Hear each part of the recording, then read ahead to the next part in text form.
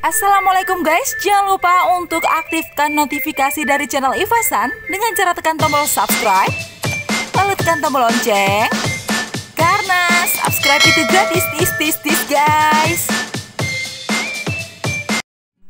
Pernah ngerasa takut nggak sih guys saat kita melihat swab test yang dilakukan lewat hidung? Eits, tapi sebelumnya apa sih swab test itu? Swab test adalah pemeriksaan untuk mendeteksi virus corona yang disebut juga dengan tes PCR. Selain itu guys, swab test dilakukan dengan mengambil sampel apus dari saluran pernapasan misalnya hidung dan tenggorokan. Nah itu guys sekilas tentang swab test.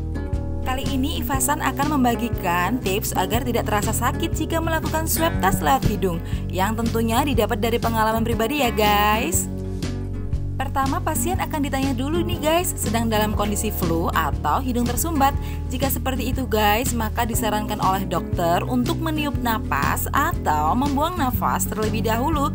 Jika kondisi tubuh kita sedang normal, maka yang bisa dilakukan guys,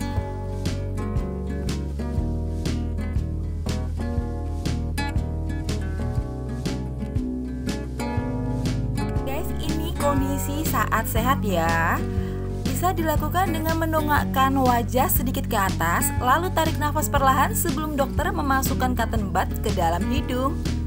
Lalu, cara ketiga, setelah cotton bud masuk ke dalam hidung,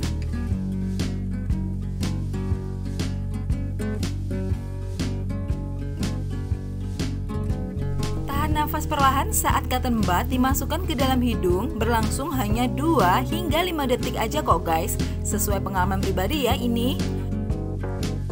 Hal tersebut dilakukan agar kita tidak tersedak atau merasakan sakit ya guys di hidung kita. Lalu cotton bud akan dikeluarkan dari hidung. Nah, selesai nih guys proses swab kita. Tinggal tunggu hasil dari swab yang kita lakukan.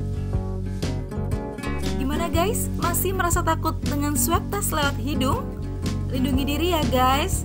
Sayangi keluarga, teman, dan orang di sekitar kita dengan memakai masker, rajin cuci tangan, dan hindari kerumunan. Semoga bermanfaat guys.